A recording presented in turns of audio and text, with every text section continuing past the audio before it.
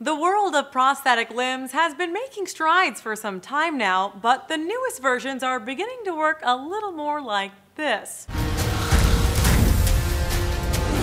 that is controlled by the mind of the person sporting the bionic limb. Researchers at the Rehabilitation Institute of Chicago have, for the first time, unveiled a prosthetic leg controlled by the human brain. Okay, so it looks more like a robot wearing a flip-flop than Robocop, but it works more like a human leg than ever before, combining thoughts and neural signals to produce movement. Zac Vawter, who lost part of his right leg in a motorcycle accident four years ago, has been testing the new design. I seamlessly walk up to a set of stairs and just go up foot over foot up the stairs like you do.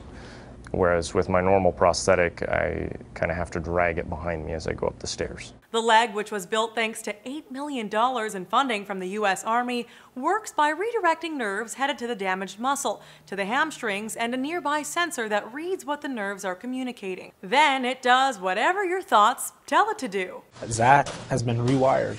The nerves that would have went to the muscles that control his ankle have been redirected. This prosthetic limb joins a few others already operating on brain power. DARPA created an arm that moves via neural interface technology. But it does have its own challenges, like the potential to take a stumble if something should go wrong. Quoted by The Verge, the project's lead researcher says if there was a mistake or error that could cause someone to fall, that could be potentially catastrophic. We want to avoid that at all costs. And the price could be an obstacle as well, with robotic prosthetics currently going for upwards of $100,000. According to Vawter, though, that price may be worth it. Quoted by Time, he calls the prosthetic groundbreaking and phenomenal. The team behind the leg hopes to have it ready for testing in five years. Their research was published in the New England Journal of Medicine. For Newsy, I'm Candice Aviles.